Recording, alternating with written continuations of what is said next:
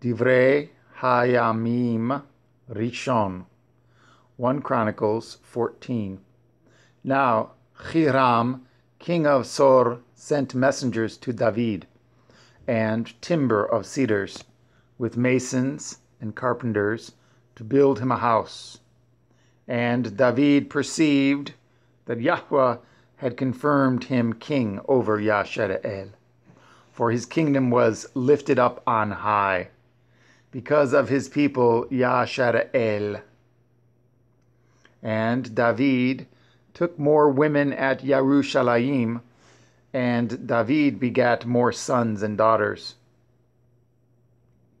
Now these are the names of his children which he had in Yerushalayim Shammua and Shovav, Nathan and Shalomah, and Yivchar and Elishua, and Eliphelet, and Nogah, and Nepheg, and Yaphiah, and Elishama, and Beeliada, and Eliphelet.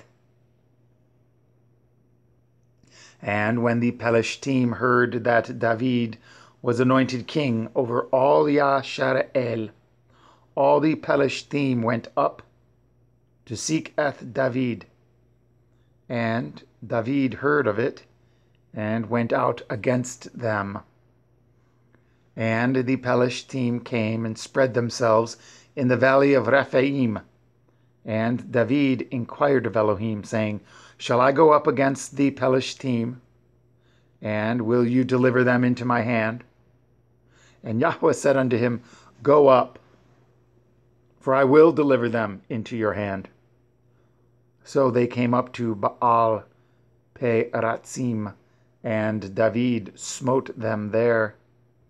Then David said, Elohim has broken in upon eth my enemies by my hand, like the breaking forth of waters.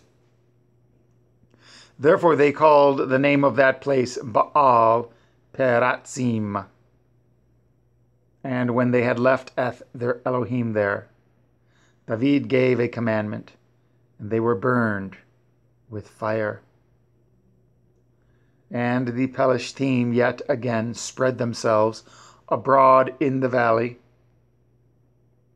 Therefore David inquired again of Elohim, and Elohim said unto him, Go not up after them, turn away from them, and come upon them over against the mulberry trees.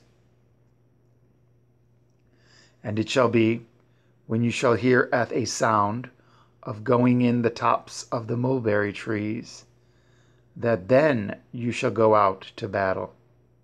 For Elohim is gone forth before you to smite at the host of the Pelishtim. David therefore did as Elohim commanded him, and they smote at the host of the Pelishtim from Givon even to Gezer. And the fame of David went out into all lands, and Yahweh brought eth the fear of him upon all nations.